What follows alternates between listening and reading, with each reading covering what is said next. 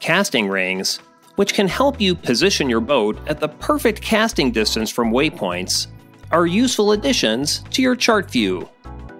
You can add casting rings around waypoints on both Helix and Solix units. On a Helix, you can add casting rings to all of the waypoints visible on your chart view by turning the feature on and then adjusting the size of the ring. Press the menu key twice and select the Nav menu tab. Then, turn casting rings on and set the radius of the circular casting ring. All waypoints on your chart view will have the same size casting ring displayed around them. The process is a little different on a Solix, where you can choose the waypoints that get a casting ring, and also provide different size casting rings to different waypoints. Begin by selecting a waypoint, and then press the Info or checkmark key.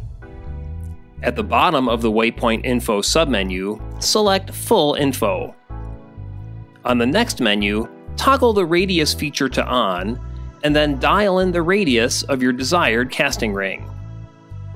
These settings only apply to the selected waypoint, so it's easy to have different sized casting rings associated with different waypoints.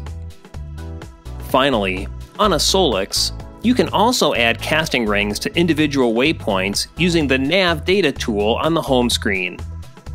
Here, simply select a waypoint from your collection and press the Info or checkmark key to call up the Waypoint Info menu, where you can once again toggle radius to on and adjust the size of that waypoint's casting ring.